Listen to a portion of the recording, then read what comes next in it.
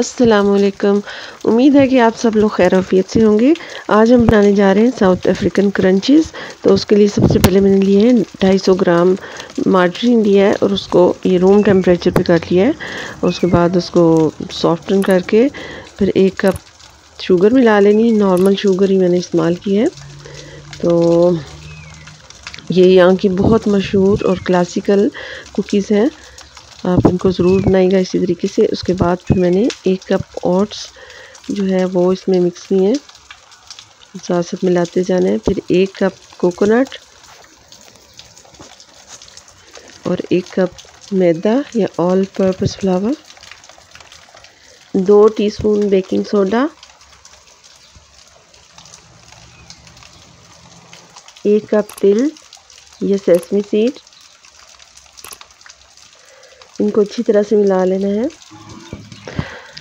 और ये दो टीस्पून इलायची पाउडर भी मिलाना था।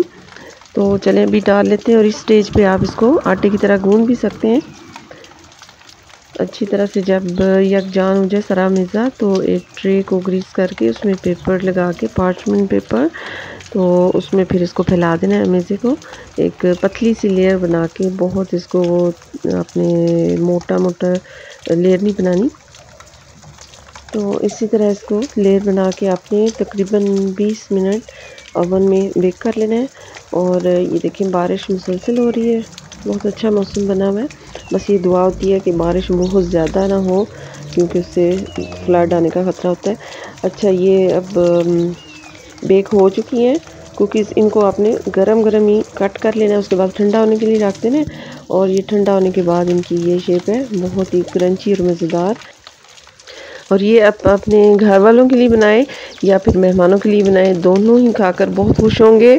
आप इनको ज़रूर बनाइएगा, चैनल को सब्सक्राइब करना और वीडियो को शेयर और लाइक करना ना भूलिएगा। और मुझे अपनी दुआ में याद रखिएगा, जहाँ रहें खुश और आबाद रहें, आफ़ियत से रहें। अल्लाह हाफिज़।